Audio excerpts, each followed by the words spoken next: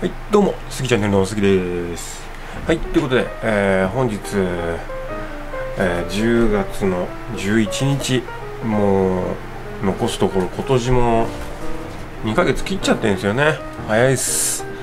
で、今日はすげえいい天気で、えー、ちょっとね、まあ、ご飯的なものを買いに行こうと思って、ちょっとさっき買い物行ってたんですけど、あのーまあ、バイクで久しぶりにねベーンって行こうと思って行ったんですけどこの私のメットなんですけどこれねあのシールドっていうんですけどあのこの、まあ、風よけみたいなやつね。これがまさかの衝撃の事実を分かるちょっと知りましてこうやってかぶってたわけですよ。でこうやってベーンベーンってやってたわけ。そしたらまあ、ちょっと大きい通りにね出たの。大通りみたいなところに。そしたら、まあ、ちょっとスピードを上げますよね。ゆっくり走ってる。と逆に危ないから。でちょっとこうスピードブーンって上げたら風でね風でこれが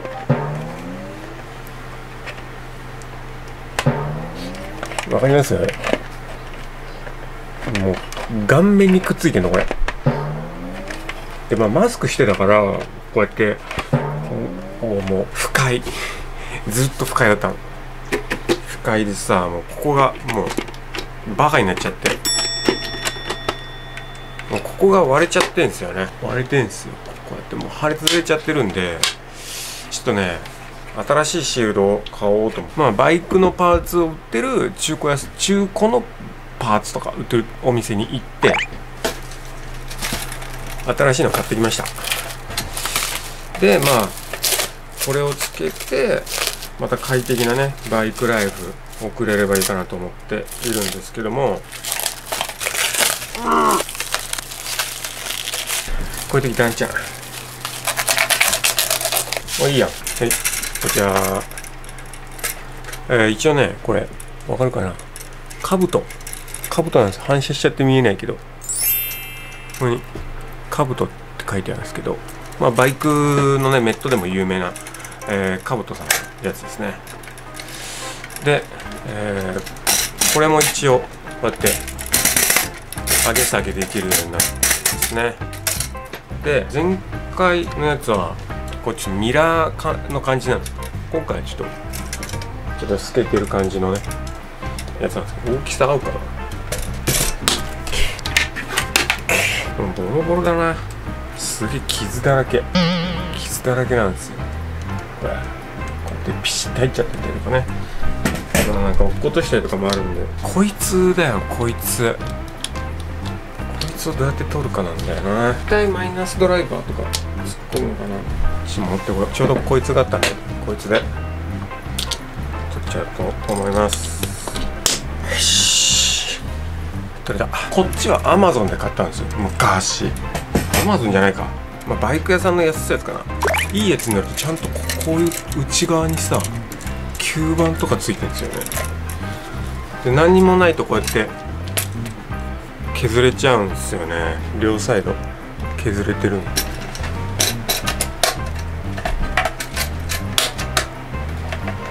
おおいいやん。いいやんいいやん。はいできました。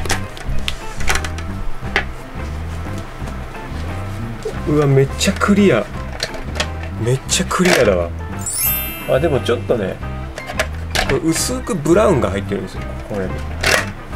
だからいい感じにね顔も見にくくて。このゴリゴリがすげえ。すげえ。スムーズ。これが。あいいやん。OK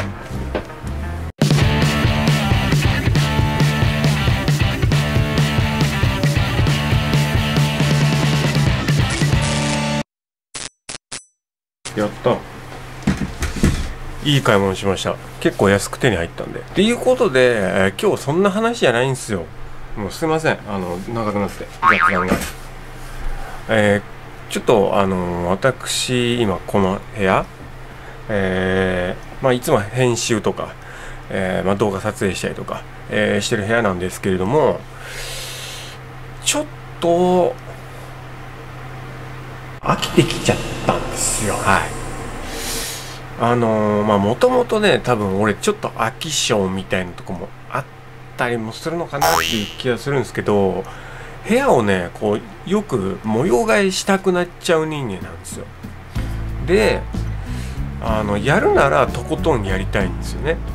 でもまあいわゆるなんていうのこうただの模様替えって要は物の配置を変えるとかぐらいだと思うんですけどちょっとそういうことじゃなくてもっとガーンと雰囲気を変えたいなっていうのがありまして、まあ、リフォームまでいっちゃうとねすごいお金かかりますからなので全体的に雰囲気を変えたいと。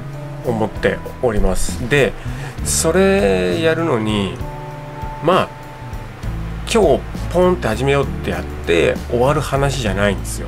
なのでちょっとシリーズ的な感じになっちゃうかもしれないんですけどあのまあ部屋の改造というか、えー、をしたいなと思っております。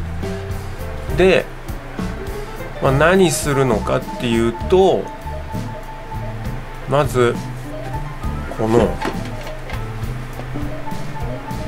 壁紙をどうにかしたいなと思ってるんですよ。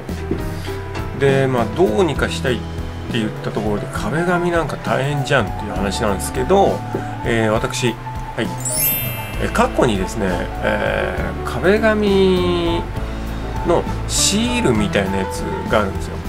でこれでちょっと部屋の雰囲気変えようみたいな感じをやりまして結構ねやっぱ壁紙変わるだけで雰囲気ガラッて変わるんですよ。めちゃくちゃ。でまあちょっとそれをもう一回このねこの部屋でやりたいなとここで思っておりましてでえー、まあその何て言うんだろうな。やっぱり部屋のインテリアとか、えー、みたいなっていうのに関しては、まあ、そんなにすぐこだわりはないんですけどやっぱり大事なのって何かって言ったら統一感なんですよね。いわゆるインテリアにもう大事な要素としてあるのって統一感。よく聞くと思うんですけど俺もよく聞いてくんですよね。統一感が大事みたいな。例えば黒でまとめる白でまとめるとかよく言いますよね。そういうのをしっかりやりたいみたいなのもあって。で、えー、その中でその部屋の空間をどういうコンセプトにするのかっていうのもま大事だと思うんですよ。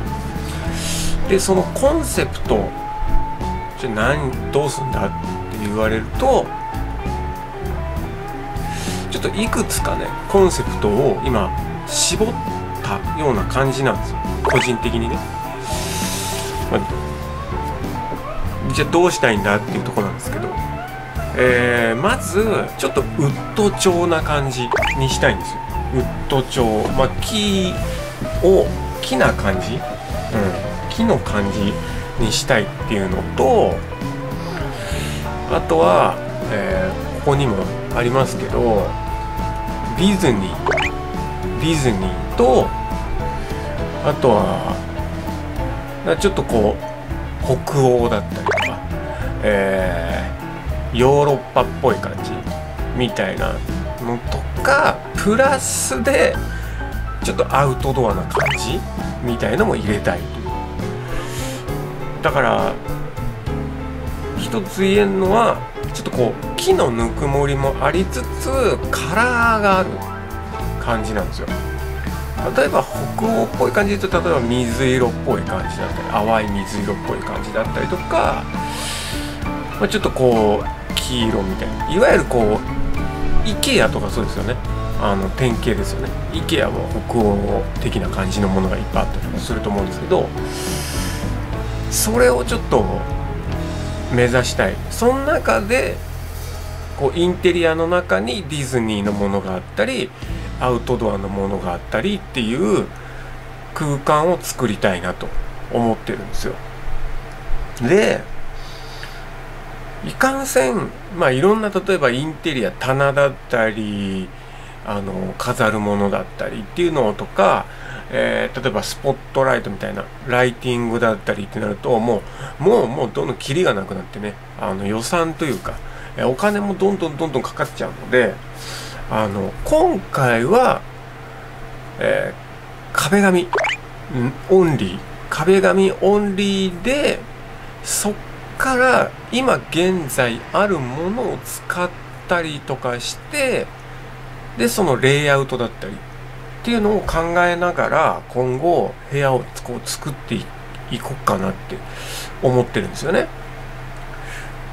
で、まあ、例えばそのインテリアとかに関しても別に例えば新品で常に毎回買わなきゃいけないっていうわけでは僕はないと思ってるんです例えばリサイクルショップ行ってまあなんかそのもう誰かがちょっと使い込んだこう味のある棚とかだっていいと思うしそういうの結構古ければ古いほど安くなってたりとか、えー、もすると思うのでそういうのもこう取り入れたりとかもしていいと思うんですけど今回は壁紙。であのー、そのインテリアでもやっぱりディズニーのものってなっても例えば最近のものだと結構カラフルなものだったりっていうのがあると思うんですけどちょっとこんなの買ってみたんですねこちら。あ Wonderful World of Walt Disney って書いてあるんですけど、まあ、ピノキオがねいて3匹の子豚とか、えー、これがワンワン物語ですね。があったりとかしてるんですけど。で裏はねこんな感じで101匹ワンち。ゃんここにウォルト・ディズニー・プレゼンツディズニーの素晴らしい世界オリジナルサウンドトラック。これ何ぞやってこれですよレコード。レコードを買ったんですよ。でこのレコード版もすごく可愛くてこんな感じでねちょっとオールド的な感じでウォルト・ディズニーって入ったりとかしてあ悪くないなと思って。でこういうのもなんか一緒にね飾ったりとかしたらいいなと思って買ったんですよ。でこちらがリサイクルショップで100円だったんですね。100円で買えるこういうちょっと、うん、ヴィンテージっぽい感じみたいなのもよくいいと思うしでなんか色合いもねちょっとこう色あせてきてる感じもちょっとその北欧だったりウッド調の中に入れてもすごく可愛いディズニーだなと思って買ったんですねこれ。なのでそんなに私自体はそんなにディズニーの派手なもの派手なものっていうわけでもないのでそういうのを使ってねいこうかなと思っております。で、えー、ここからちょっと画面がパー。はいこちら壁紙シールなんですけども、えー、前回ですね私が先ほど壁紙のシールを貼った時は、えー、45センチ ×10 メートルを2本買ったんです確か。